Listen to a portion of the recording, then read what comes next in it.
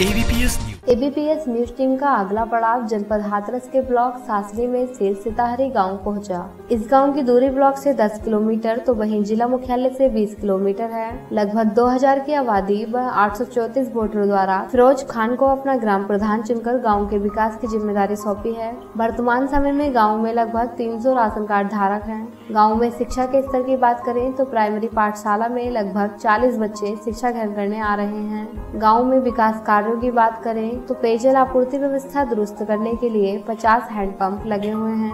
वर्तमान प्रधान द्वारा पाँच हैंडपंपों को भी रिबोर कराया गया है। वहीं विद्युत व्यवस्था दुरुस्त करने के लिए गाँव में 200 विद्युत पोल, चार विद्युत ट्रांसफार्मर व स्ट्रीट लाइट भी लगी हुई हैं। वर्तमान प्रधान द्वारा गाँव में सीसी टाइल्स रोड, खड़ंजे व पानी निकासी के लिए नाली का निर्माण कराया गया है, तथा वर्तमान प्रधान की देखरेख में स्वच्छ भारत मिशन के तहत 140 इज़्ज़त घरों का निर्माण कराया गया है। एबीपीएस न्यूज़ टीम से बात करते हुए ग्राम प्रधान ने गाँव में पानी निकासी के लिए नाला, सीसी टाइल्स रोड, खड़ंजे, स्कूल की बाउंड्री, बारात घर, खेल का मैदान, पंचायत घर, स्वास्थ्य केंद्र, आंगनबाड़ी केंद्र, प्रधानमंत्री आवास योजना के तहत आवास व स्वच्छ भारत मिशन के तहत इज़्ज़त घरों के निर्माण की मांग राज्य व केंद्र सरकार से की है। मैं ग्राम प्रधान सतारी फिरोज खान ब्लॉक शासनी डिस्ट्रिक्ट हाथरस।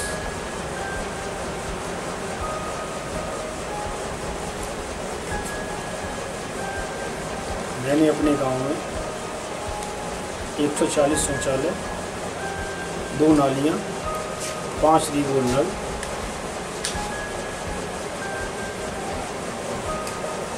करा दिए हैं। और मुझे अपने गाँव में सरकारी स्कूल की बाउंड्री, बारात घर, बच्चों के खेल का मैदान, पंचायत घर, स्वास्थ्य केंद्र, आंगनवाड़ी आंगनवाड़ी केंद्र, आठ इंटरलॉकिंग सड़कें, निर्माण छः सोलर लाइटें। अति आवश्यक है कराने के लिए। लेकिन मेरे खाते में इतना पैसा नहीं आता है।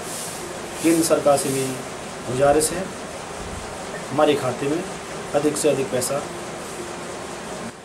जिससे मैं गाँव का विकास करा सकूँ। शाहिद अली, सितारी का निवासी हूँ। ये देखो, हमारे प्रधान जी के पास पैसे नहीं है, इसलिए ये ऐसा हो रहा है। देखो, सरकार से ये निवेदन है कि हमारे प्रधान जी को अधिक से अधिक धन दें। कि ये कार्य हो।